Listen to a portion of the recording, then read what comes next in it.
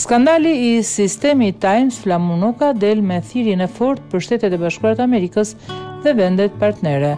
Deputeti i Partisë Demokratike Flamur Noka në një deklaratë për mediat foli për skandalin e sistemit TIMS. Noka u shpreh se thirrja e Fshirja e gjurmëve të krimit do të lidhet me të dhëna të tjera nga operacioni Metamorfoza referuar koncensionit të sterilizimit në sistemin TIMS, sakaq tha se Partia Demokratike i bën thirrje Shteteve të Bashkuara të Amerikës dhe vendeve partnere që të ndërhyjnë urgjentisht.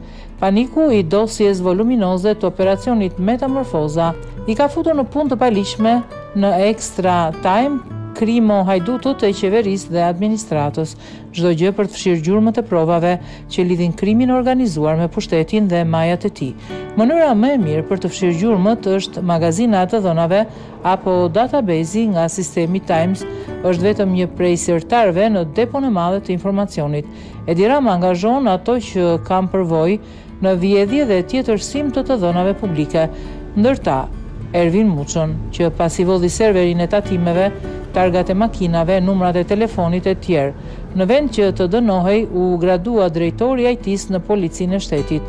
Qëllimi ishte i qartë, fshirja e gjurmëve që do të lidhnin të dhënat e dala nga operacioni Metamorfoza në sistemin TIMS dhe database të tjerë të të dhënave të shtetit, Frika e tyre është me bazë të fortë, ata e dinë se e gjithë qeveria është në këmbë në atë dosje.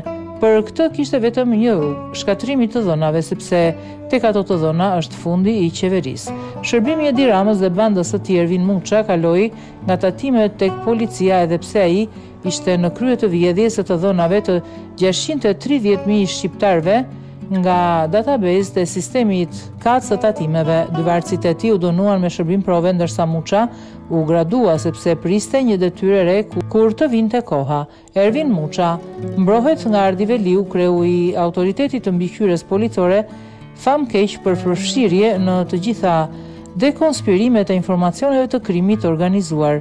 Veliu është ushtar i Ramës që inspektoi bllokimin e komisariatit numër tre kur ndodhen ku ndodhen serverat e policisë. Kjo vjedhje e kryqëzuar dhe e organizuar drejtoi me detyroi me të drejtë ambasadën amerikane të ndërhynte, por jo prokurorinë, jo SPAK-un, jo drejtësinë e rilindur të partisë punëve të zeza dhe të socializmit të antishqiptar. I vetmi angazhim shtetëror Kanë qenë kërcënimet ndaj ekspertit të IT-së Gent Progni që e zbuloi dhe publikoi këtë batërdi, këtë hedhje në erë të të dhënave, kufijve dhe databazës së shtetit shqiptar.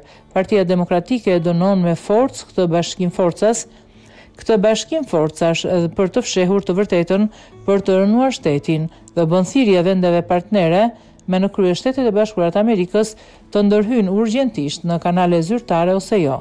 Çdo kërcënim për sigurinë kombëtare të Shqipërisë është kërcënim edhe për NATO-n.